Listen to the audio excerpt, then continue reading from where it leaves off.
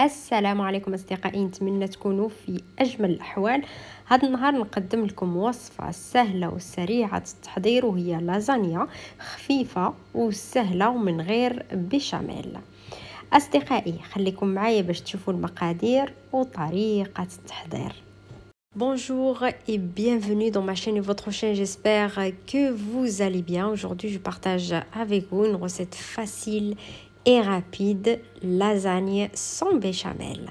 Restez avec moi pour voir les ingrédients et la préparation.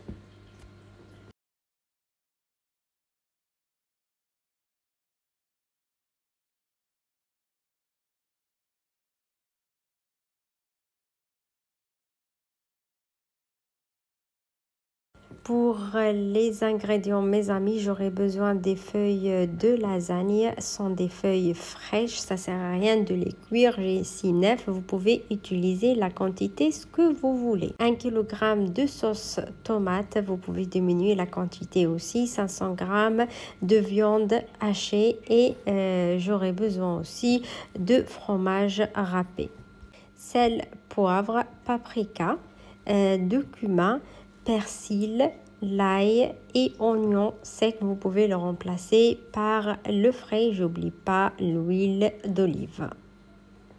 بالنسبة للمقادير أصدقائي غادي نحتاج أوراق اللازانيا بالنسبة لأوراق اللازانيا راهم طريين ما محتاجينش أنكم طيبوهم آه، في حالة إلا ما كانوش طريين تقدروا توضعوا آه، في طنجرة واحد شوية ديال الماء واحد شوية ديال الملح مع ورقة ديال سيدنا موسى أو ورق الغار وطيبهم لمدة 3 حتى لخمس دقائق من بعد تنزعوهم وتنشفوهم ولا تصفيوهم وتركوهم على جنب فيما تحضروا صلصة الطماطم. عندي هنا كيلوغرام ديال صلصة الطماطم أصدقائي تقدروا تنقصوا من كمية آه، صلصة الطماطم أنا وضعت صلصه طماطم كتير باش ما تنشفليش. عندي 500 غرام ديال اللحم المفروم وعندي الجبن المبشور وأيضا نحتاج الملح إبزار آه أيضا التحميرة أو الفلفل الأحمر الحلو والكمون والمعدنوس الجاف تقدروا تعوضوه بالطري والثوم أيضا الجاف تقدروا تعوضوه بالطري وحتى البصلة الجافة تقدروا تعوضوها بالطري وأيضا منساش زيت الزيتون. أول شيء أصدقائي ناخذ واحد الآنية للخلط نوضع فيها 500 غرام ديال اللحم المفروم. تقدروا تنقصوا من كميه ديال اللحم المفروم أيضا. نضيف واحد شوية ديال الملح الملح دائما على حسب الذوق والرغبة. واحد شوية ديال الابزار مش كتير أصدقائي. وواحد نصف ملعقة صغيرة ديال الثوم غبرة نقدر نعوضه بفص دي ديال الثوم نعم. وواحد الملعقة صغيرة ديال البصلة الجافة. أيضا نقدر نعوضها ببصلتين حتى لثلاث مش بصلتين أصدقائي عفوا ولكن ملعقتين حتى لثلاث ملاعق كبار ديال البصلة مقطعة إلى قطع صغيرة. ملعقتين صغار ديال المعدنوس الجاف نقدر نعوضه بالمعدنوس الطري. ملعقه صغيرة ديال آه، ديال الكمون وملعقه صغيرة ديال التحميرة أو الفلفل الأحمر الحلو ونخلط الكل جيدا. أصدقائي أنا دائما كنقول لكم تقدروا تعوضوه بالطري اللي ضيق الوقت. ما عنديش كتير وقت لهذا أن لما أشري الثوم آه، غبرة أو البصل الجاف أو المعدنوس الجاف أيضا لضيق الوقت هكا يجيني ساهل. لما نحرك الكل جيدا اصدقائي ناخذ مقلة نوضع فيها ملعقتين حتى لثلاث ملاعق كبار ديال زيت الزيتون نوضع فيهم آه هذا اللحم المفروم ونحركه جيدا حتى يولي حبيبات. نتركه يتقلى حوالي من خمسة حتى لعشر دقائق. Dans un plat, mes amis, pour euh, mélanger, je vais mettre les 500 g de viande hachée. Vous pouvez diminuer la quantité de viande hachée, un petit peu de sel. Le sel, toujours, ça dépend le goût.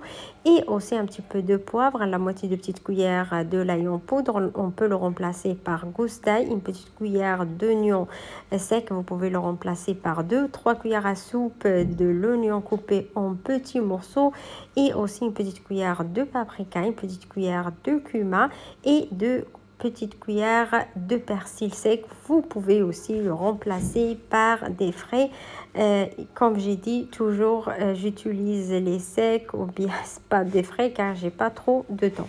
Dans une poêle, je vais mettre euh, la viande hachée. J'ajoute entre 2 à 3 cuillères à soupe d'huile d'olive. Je vais mettre sur le feu et je vais bien mélanger et je laisse cuire entre 5 et 10 minutes. Après, je vais enlever la viande hachée, je vais le mettre dans un plat, je laisse à côté dans le même poêle avec un petit peu de jus de viande hachée qui donne un bon goût à la sauce tomate. Je vais mettre la sauce tomate, comme j'ai dit mes amis, vous pouvez diminuer la quantité de sauce tomate, même si vous avez un peu plus de sauce tomate, vous pouvez mettre au frigo pour euh, pizza ou bien des pâtes. Donc, euh, dans mes poêles, comme j'ai dit, je mets la sauce tomate, un petit peu de sel, un petit peu de poivre, un petit peu des herbes de province et aussi deux feuilles de laurier, entre 2 à 3 cuillères à soupe d'huile d'olive. Et je vais mettre euh, la sauce tomate sur le feu pour une cuisson entre في نفس المقلة أصدقائي تركت واحد شوية ديال المرق ديال اللحم المفروم هكذا يضيف واحد النكهه جيدة لصلصة الطماطم. بالنسبة لصلصة الطماطم تقدروا تنقصوا كمية. ديال الطماطم نضيف شوية ملح شوية إبزار شوية معدنوس الجاف كما قلت دائما نقدر نعوضها بالطري.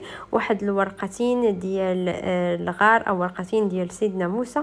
واحد شوية أعشاب منسمه نضيف ملعقتين حتى ثلاث ملاعق ديال زيت الزيتون. ونتركهم على النار من خمسة حتى لعشر دقائق في حالة أصدقائي أن بقات شوية الصلصة أنكم وضعتوا كتير وبقات شوية صلصة الطماطم تقدروا توضعوها في المجمد أو تقدروا تحضروا بها بيتزا إلى كان ممكن. أصدقائي أنا نسيت ما قلت لكمش أني ضفت شوية آه تحميرة أو فلفل أحمر نصف ملعقه صغيرة ديال الفلفل الأحمر لهذا الصلصة هذه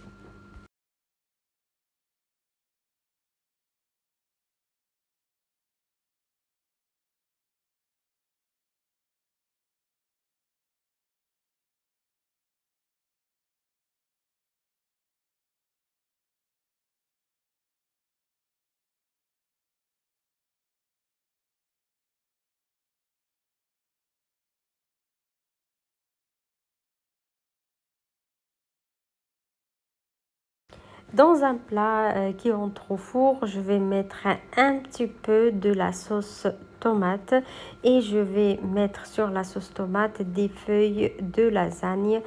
Et sur les feuilles de lasagne je vais mettre un petit peu de viande hachée.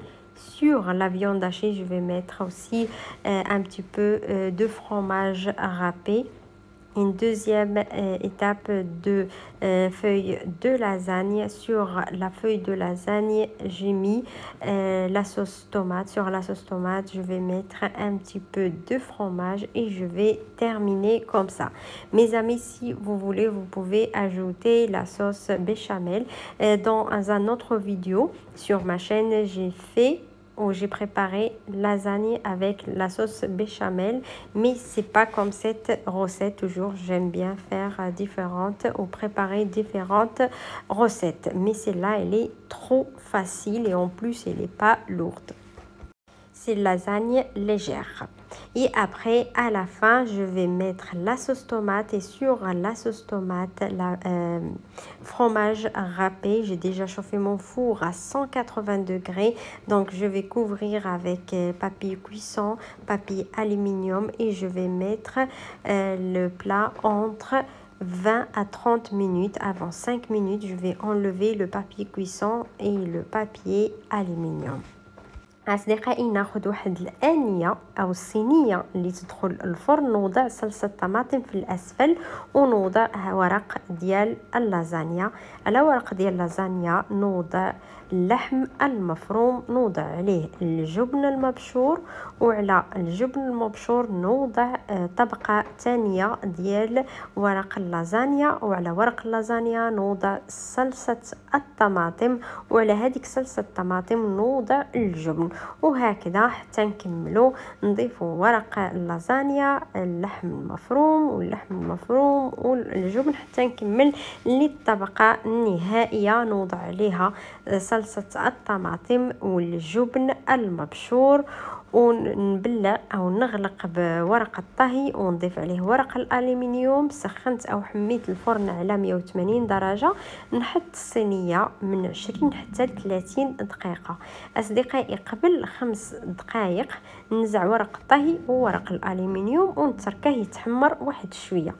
أصدقائي أنا وضعت واحد الوصفة أخرى ديال اللازانيا بالبيشاميل على ما أظن ولكن إلى غادي نحطها لكم آه، في صندوق الوصف في الأسفل مغايرة لهذه وبطريقة أخرى أيضا. ولكن هذه أنا جاتني آه، سهلة وسريعة التحضير. دائما نحب أنني حتى ولا قدمت لكم نفس الوصفة نحاول أنني تكون الوصفة مش آه، تكون مختلفة شوية.